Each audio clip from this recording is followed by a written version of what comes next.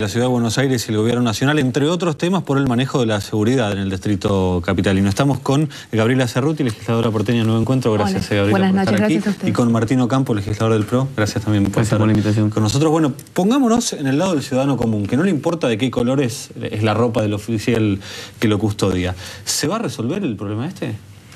A ver, yo primero no creo que sea un problema, digamos, partimos de otra, de otra base. Digo, esto tiene dos miradas. Uno es uno lo mira desde el plano nacional y desde el plano de lo que significa la reforma de la Policía Federal que está llevando adelante la ministra Garré, que yo creo que todavía no hay una dimensión de lo que se está haciendo y que es algo que todos veníamos pidiendo. Creo que muchas veces hemos discutido en la Comisión Investigadora y en otros lugares en la Ciudad de Buenos Aires que, eh, que la Policía Federal, como estaba, tampoco la ciudad quería esa Policía Federal cuando pedía el traspaso, porque había una cantidad de cosas que reformar. La ministra creo que por primera vez en democracia se está metiendo de verdad con temas que nunca se habían tocado en la Policía Federal. Bueno, de hecho, han cambiado dos tercios de los, de los comisarios, no porque todos estuvieran inculpados de algo, pero sí porque muchos no cumplían bien su tarea o porque habían cumplido un ciclo. Algunos Se en hizo- realidad fueron redistribuidos a otras comisarías. algunos fueron distribuidos, algunos fueron sacados de las comisarías, pero tiene que ver con la reorganización de la seguridad en la ciudad de Buenos Aires. Otro tema que es fundamental es que se le sacó el- la confección de los pasaportes a la policía. Había una cantidad de policías que estaban, eh, no perdiendo su tiempo, pero digo, estaban dedicados a eso en lugar de estar en la calle. ¿Qué, qué quiere el ciudadano común? Estás, bueno, ¿qué quiere el ciudadano común? Quiere que la policía esté en la calle cuidándolo. Eso es lo que quiere.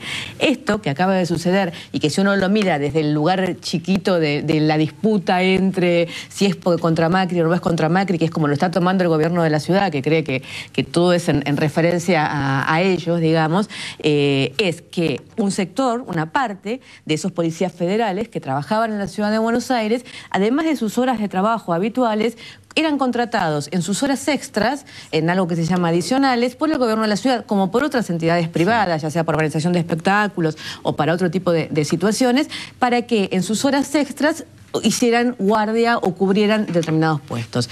Lo que la ministra está haciendo ahora es, los policías tienen que cobrar más, se les ha dado un suplemento ya de mil pesos y se les va a dar otro suplemento para compensar estas horas extras que van a perder y tienen que ir a la calle, a cubrir al ciudadano común y patrullar la calle y estar donde el ciudadano quiere que esté. En el entendimiento de que la ciudad de Buenos Aires no permite las horas extras en la Policía Metropolitana, es una decisión que tomamos cuando se creó la Policía Metropolitana, porque el ministro Montenegro, todo el PRO y todos nosotros estamos todos de acuerdo en que el policía tiene que cobrar bien y cumplir sus horas de trabajo, porque si no está cansado y no está bien, eh, y que también la Policía Metropolitana, que es una policía que ya tiene 2.000 efectivos, que tiene un presupuesto de 510 millones de pesos este año, en 2011, bueno, con ese presupuesto y con esa cantidad de efectivos puede hacerse cargo de una tarea que casi, diría, que está en el nacimiento de la Metropolitana, en la gerencia de la Metropolitana, que es custodiar los edificios de la Ciudad de Buenos Aires, los hospitales y las escuelas.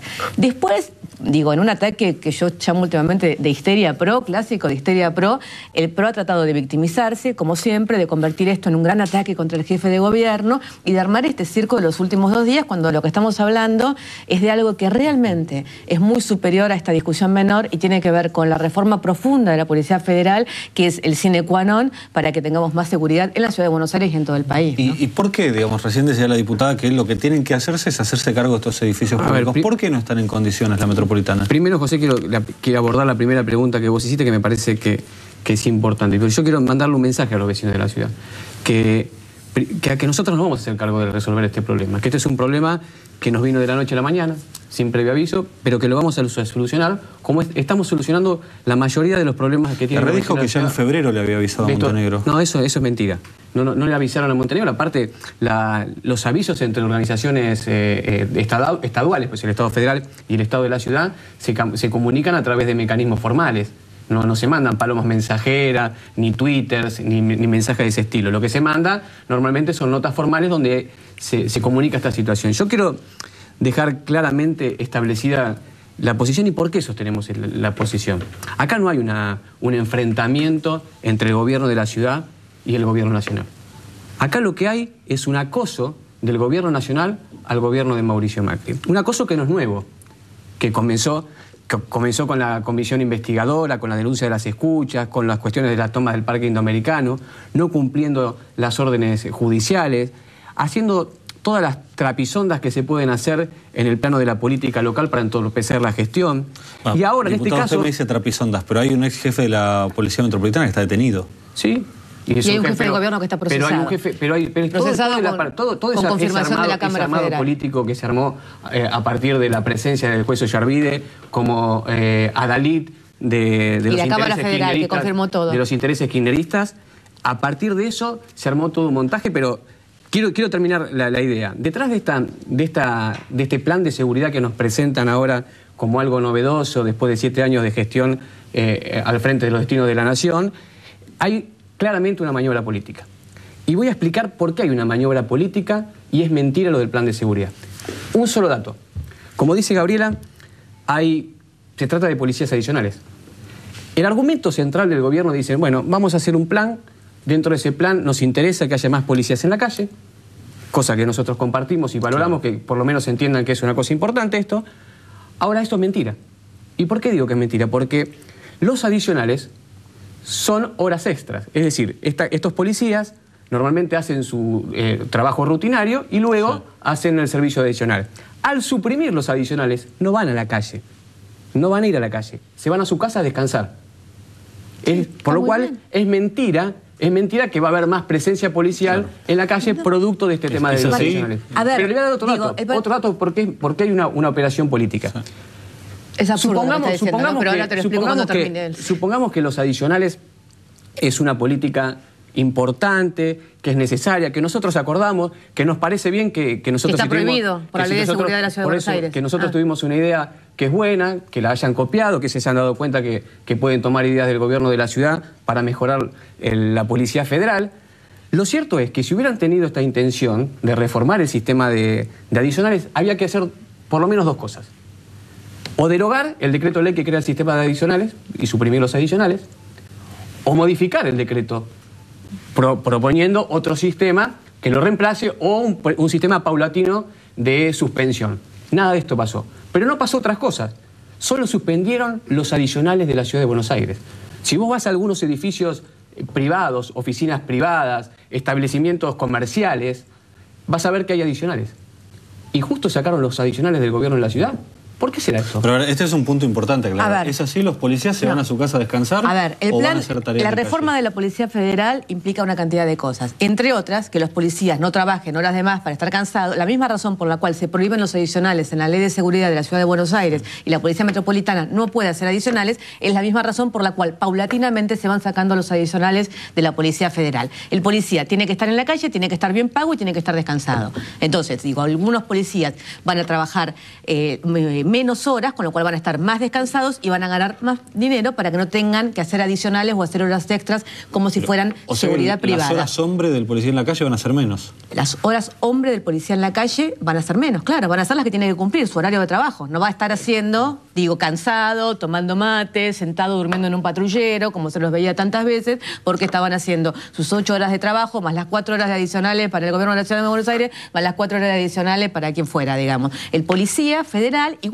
que el policía de la metropolitana, va a cumplir su horario de trabajo, va a estar bien entrenado y va a estar bien pago. Además, se sacaron a los policías de hacer pasaportes, se pusieron mil policías más en la calle en la ciudad de Buenos Aires desde febrero hasta ahora y se está profesionalizando y reformando de manera profunda la Policía Federal. Claro, pero por este tema de los adicionales entonces no es que va a haber más policías en la calle, sino que va a haber policías más descansados. No, va a haber policías cumpliendo su horario y mejor pagos.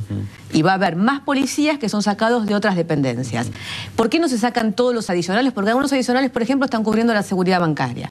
Entonces no se puede sacar de un día para otro porque el banco tiene seguridad privada, pero hay una parte que no la puede cubrir la seguridad privada, obviamente. Entonces no pueden sacar la seguridad bancaria de un día para el otro. En la ciudad de Buenos Aires, los edificios públicos de la ciudad de Buenos Aires, ¿por qué se puede hacer ahora? Porque está la Policía Metropolitana. Porque hay 2.000 efectivos de la Policía Metropolitana que pueden ir a hacerse cargo. Anoche vimos dos haciendo de payasos parados atrás del señor Bursaco en un programa de televisión. Sabemos que el señor Bursaco tiene 14 policías metropolitanas que le hacen de, de custodio privado a él. Digo, tenemos otros que están patrullando saturando una o dos comunas para que salgan en la, televisión y se pueda hacer publicidad. La, verdad parece más importante que cuiden, por ejemplo, los adicionales, los con servicios adicionales siga el fútbol, o, o que lo que es peor, cuiden oficinas comerciales de intereses de empresas o, No o tengo ni- comerciales o, o establecimientos El fútbol me comerciales y no cuiden las eventos- escuelas y no cuiden los hospitales de la ciudad. Cuídenlo con policía ¿A metropolitana. vos te parece que es más importante? Por ¿Pero por qué decidieron a primero cortar los Porque existe la hospitales y las escuelas y no los No, establecimientos a ver- a ver comerciales? si se entiende. ¿Cuál es el secreto A ver, de esta ¿cuál es el- nueva decisión a de política Martín, de ¿por qué seguridad no- que prioriza los establecimientos comerciales ¿sabes en detrimento de las escuelas y los hospitales públicos? A ver, Explícamelo. Te lo explico con muchísima sencillez y ¿sabes cuál es el problema? Que le mienten descaradamente a la gente hace tres días tratando de generar un clima de terror y hablando de las escuelas y de los hospitales. ¿Sabes por qué? Porque la mayoría los adicionales en la ciudad de Buenos Aires no estaban ni en las escuelas ni en los hospitales. Los adicionales en la ciudad de Buenos Aires cuidaban la quinta de Mauricio Macri. ¿Había la ex esposa. hospitales, Gabriela? Déjame ¿Había terminar de? También. la nueve escuelas. Nueve. ¿Había hospitales? Nueve escuelas. ¿No había 33 sí, hospitales? 33 hospitales y nueve escuelas. entonces no o sea, necesitas, necesitas, no es mentira, es necesitas verdad. 33 policías Entonces metropolitanos y nueve para las escuelas. Entonces no es mentira, Pero podrías traer, por ejemplo, al que está cuidando la quinta de San Miguel de Mauricio Macri, al que está cuidando a la ex esposa de Mauricio Macri, al que está cuidando al ¿A ministro vos te parece de que una persona como Mauricio Macri, que fue secuestrada parece- 21 días, no tiene, no tiene ni siquiera en un proceso de, de pensar la seguridad de un jefe de Estado, no merece tener seguridad que cuide el- el- los Sí. intereses de la familia? La hermana fue también secuestrada. ¿A vos te parece que es una cosa irrazonable? ¿Y a vos Cuando, por ejemplo, un funcionario de segundo nivel, de segundo nivel, por ejemplo, como Moreno, tiene custodia? ¿Entendés? ¿A vos te o, que el- los ministros, ministros No, de- no- del digo, gobierno del no Poder Ejecutivo Nacional Martín, no tienen, se le puede mentir a la gente. No, porque se le puede mentir a la gente. Acá lo que hay es una reforma Entonces, profunda de vos- la Policía Federal que todos los ¿Es menos argentinos importante o vos querés que le pase algo a. Mauricio Macri en serio? No digas pavadas. Entonces no querés, vos no querés como, como ninguno quiere que le pase algo. A veces Entonces me parece que, que una política necios, de y otras seguridad... veces cree sencillamente que es el discurso que les escribe Durán Barba. Estamos discutiendo un tema profundísimo. No Estamos discutiendo la reforma, estamos discutiendo la reforma de la Policía Federal. Estamos discutiendo que la ministra Garrea ha tomado medidas entonces que todos de estábamos esperando que se ¿Querés que te dé otro dato más porque es una operación política? Te voy a dar otro dato más porque es una operación política. Resulta que esta operación se montó ¿Te el puedo contar una cosa? ¿Dónde está se la Policía. Metropolitana que no puede cuidar te voy a 33 decir- te voy a hospitales y decir- 9 te- escuelas? Primero contestame esto. ¿Dónde está la Metropolitana? ¿Qué hace la Te lo voy a Metropolitana? contestar, te lo voy a contestar. Dale. Resulta que hay una operación política por esta sencilla razón, entre otras, ¿no? Resulta que hay un convenio firmado entre el gobierno de la ciudad y el gobierno nacional que regula esta cuestión de los policías adicionales. Un convenio que se firmó en el gobierno de Tellerman. Ese, ese, ese convenio el gobierno de Ibarra, tiene... ¿en qué se firmó? Tellerman, Tellerman. Si querés te lo muestro, lo tengo acá. Lo firmó Jorge Tellerman. El, eh, ese, ese convenio tiene un artículo, que es el- una cláusula, que es la decimoséptima, que habilita la rescisión del convenio. ¿Cómo se produce esta rescisión del convenio y qué dice la cláusula decimoséptima? Dice que tiene que notificar al gobierno de la ciudad, que le tiene que dar 30 días y que durante esos 30 días tiene que seguir funcionando el, ci- el servicio. Bueno, el gobierno nacional... Por eso es que se aplazó hasta mayo. Por el gobierno nacional, no cuando decidió cortar el- los servicios, sino de un día después, mandó esa notificación. Mandó una carta al gobierno, una notificación al gobierno de la ciudad diciendo que iba a hacer uso de la cláusula decimoséptima. Ahora, esa cláusula decimoséptima dice que tiene que dar servicio hasta el- lo que sería el 5 de mayo. Y hoy no hay servicios de policía adicional. Es decir, están incumpliendo el propio convenio. Esto es lo que muestra claramente que es una operación política. Te voy a, te voy a dar otro dato, mira. Yo Una puedo- cosa que es deja- puedo- bastante, Espera, bastante Martín, porque la verdad que particular. te voy a decir una cosa porque aburre. Te digo senc- sencillamente. Bueno, pero yo no vengo a divertirte. Si no, bueno, pero aburre porque la- las mentiras, no las mentiras, las mentiras aburren. La verdad que yo no quería Yo vengo a informar a la gente. Yo, lo- yo no quería entrar en el tema de la plata porque me parece que es un tema menor. Porque estamos hablando de cómo tiene que ser la policía, la supuesto, no te policía tiene que estar la en la ¿eh? calle y la policía tiene que estar. la Y la policía tiene que estar cuidando a los ciudadanos. Porque la verdad. Estoy hablando yo, la Martín. Te- te estoy escuchando. Bueno, estoy hablando yo. No, no te estás escuchando. escuchando. ¿Te puedes callar? Sí, te estoy escuchando. Bueno, Dale, seguí. digo, eh, lo que pasa con la plata es que el gobierno de la ciudad no pagaba desde, se deben ya 20 millones. Entonces se le mandó una intimación de pago a principios de marzo, se le mandó otra intimación de pago a mediados de marzo, diciéndole que era la última intimación de pago y que si no se pagaba se iba a rescindir el convenio. Entonces, Decime qué nota dice el que tema se va a rescindir el convenio. En la segunda intimación de pago, Bueno, ¿qué la que fecha se es? mandó ¿Y del dónde la 15 de marzo. Bueno, esa, Se fecha, esa nota que la tengo acá, si querés te la muestro, nunca dice que van a rescindir el convenio. Y si hubieran es- rescindido el convenio por falta de pago, no se aplica la cláusula decimoséptima, sino la décima. ¿Vos te das cuenta que no tiene sentido lo que estás discutiendo? lo que tenemos sí, que te- discutir es para qué está la policía estoy- metropolitana. Te estoy, te estoy discutiendo que se trata de una operación política, porque si no, no hubieran hecho la de cláusula décima y no de la decimoséptima. ¿Entendés? Es una operación política y todo el armado, Bueno. bajo el título de una máscara de plan de seguridad, se trata de una operación política. Nada Ah, más que eso. ¿Sabes ¿Por qué me hace acordar del gobierno con del PRO? El gobierno del? PRO es como esas madres, viste, antiguas que creían que los hijos querían hacer cosas y ser independientes y qué sé yo, y las madres madres creían que hacían todo en contra de ellos. Bueno, la verdad es que yo creo que Mauricio Macri ha tomado la decisión eh, electoral, de campaña, de consultora electoral, de que su manera de crecer en las encuestas es victimizarse y decir que todo es culpa del, del gobierno nacional. La verdad es que lo que acá tenemos... no vamos a hacer cargo del Estoy problema, hablando ¿eh? yo. Ahora, eh, Déjame terminar de hablar, porque digo, si andás a cortarme en cuartas voces es muy difícil. Una, una frasecita. Si Macri hubiese tenido esta postura, ¿no hubiese sido mejor que él diga, ok, me hago cargo de un día para el No otro? puede porque es un inútil. manera- No puede porque es un inútil. Bueno, la verdad es esto. Esas Mauricio- descalificaciones, pues estás descalificando a la gente, no a Macri. Yo te puedo pedir Estás que- descalificando que a la lo- gente que lo le dejes votó a que me- Macri. Pero no podés decir Vos le esas podés cosas pedir al que jefe me de deje hablar, porque yo no ¿Cómo se va a hablar de la presidenta de esa manera? No se puede hablar. Hay que tener un poquito más de, de decoro para referirse al jefe de gobierno. Bueno, yo soy educado y no interrumpo. Si alguno de los dos quiere, puedo terminar mi frase, digamos. Ok. Digo, la verdad es que eh, el gobierno de la ciudad no se está haciendo cargo de lo que tiene que hacerse cargo. El gobierno de la ciudad creó la Policía Metropolitana. La Policía Metropolitana tardó más de un año en salir a la calle. ¿Por qué? Porque el primer jefe de la Metropolitana está preso, el segundo jefe de la Metropolitana está procesado y el jefe de gobierno está procesado no por el juez Servide, con confirmación de la Cámara Federal y con una confirmación ya también de la Cámara de Casación en varias de las alzadas que presentó el jefe de gobierno, en varias de las apelaciones que presentó el jefe de gobierno, y está procesado, acusado nada más y de nada menos que haber montado un aparato, una asociación ilícita de inteligencia en el seno mismo de la metropolitana. Todo eso hizo que la metropolitana tardara un montón de tiempo en salir a la calle. Y cuando sale a la calle, sale solamente para constituirse en propaganda electoral, para aparecer en las propagandas de televisión, el policía metropolitano ayudando al niño a cruzar la hacienda peatonal en la escuela, y ahora resulta que no hay nueve policías metropolitanos para poder ir a las escuelas. nueve, son Porque la 114. verdad, no, son nueve escuelas las que hay que cubrir. Escuelas sí, Sí. para los hospitales, Bueno, más te estoy hablando de nueve 114. escuelas. Entonces no pueden ir a cubrir nueve escuelas. Anoche, ayer dijeron que habían mandado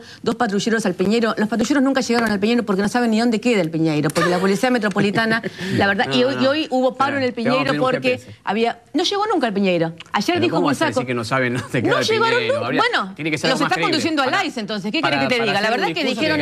Ayer a la mañana Bursaco dijo que estaban yendo. Para hacer un chiste es bueno. Ayer a la mañana dijo Bursaco que estaban yendo los dos patrulleros de la metropolitana y hoy tenemos paro en el Peñeiro porque ayer hubo un incidente y dicen los médicos Hoy que nunca tenemos- llegó la metropolitana. Eh, Entonces, la verdad es de lo que estamos hablando acá es de dos situaciones muy diferentes. Un gobierno nacional que está profundizando la reforma de la Policía Federal para que los ciudadanos tengan más seguridad, para que haya más policía en la calle, y un gobierno de la ciudad de Buenos Aires que se ha convertido en un señor histérico que lo único que hace es victimizarse y gritar es todo culpa del gobierno nacional, es todo en contra mío, es toda una operación en mi contra. Que en lugar de eso, los 510 millones de pesos que se gastan en la metropolitana estén bien direccionados y en lugar de ser usados en la propaganda electoral de la metropolitana, consiga 33 policías para ir a los hospitales, 9 para ir a las escuelas y que entonces todos vamos a estar mucho Los, más tranquilos. los tengo que ir interrumpiendo ya, es un tema la verdad interesante que podemos seguir seguramente. Ojalá que se resuelva pronto y si no lo Se va a resolver porque nosotros lo vamos a en resolver. otros programas. Eh, gracias, Venga, ¿se Gabriela, pueden hacer cargo estado- entonces? Claro que nos ¿Y hacemos cargo de los problemas de los vecinos. Sí. Eso no significa que no denunciemos que es una operación política. Bueno, yo les agradezco a los dos que hayan estado aquí. Hacemos una breve pausa y ya estamos hablando con